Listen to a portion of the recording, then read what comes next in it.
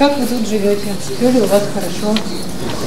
Хорошо пребываем, условия позволяют отдыхать, здоровье восстанавливать. Вот. Все есть необходимое. Кормят очень хорошо. В этом госпитале принимают раненых с самого начала спецоперации. Медики отмечают пациентов с передовой. К ним стало поступать уже меньше. Фронт отодвинулся. Но для волонтеров фонда «Звезда и Лира» это место по-прежнему остается обязательной остановкой на маршруте.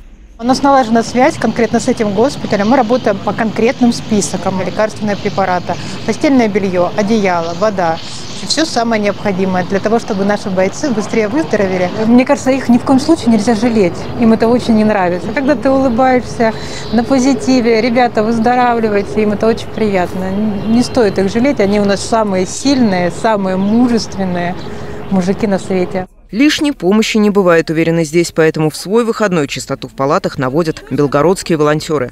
Ну, помогаем, конечно, да, как без этого. Все, все вместе. Какие вы молодцы. Мы вообще просто восхищаемся да. жителями Белгородской области. Да. Мы приехали из Самары, вот, ребят. Ага. Привезли Поддержать дом, да. Ну, Правильно. Спасибо вам большое. Спасибо вам большое. Иначе никак, как мы вместе. Да. Наверняка дома семья, да? Конечно. И вот находите время, выходной день. Недавно фонд «Звезда и Лира» открыл в Белгородской области свой филиал. Его возглавила Любовь. Она тоже с первых дней занимается сбором помощи для солдат, а еще печет для них пироги и стирает вещи. Откуда-то берется сила, всех хочется обогреть. Из госпиталя мальчики жили у нас, много мальчиков жили.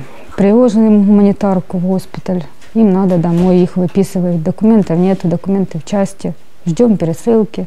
Помогали нам, заготовили сел вместе с нами, поезжали домой, сейчас общаемся до сих пор.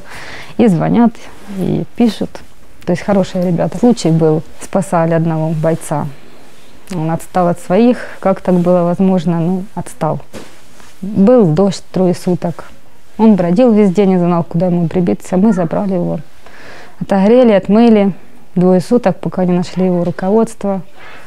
И тогда он ушел к своим. Все эти посылки собрали жители Самарской области. Здесь медикаменты, средства гигиены, сладости и, конечно, детские письма. В этот раз на прифронтовые территории непосредственно в зону спецоперации отправилось сразу три КАМАЗа с гуманитарной помощью. Уже на местах ее распределят по подразделениям. Татьяна Потоцкая, Константин Макаревич. Новости губернии.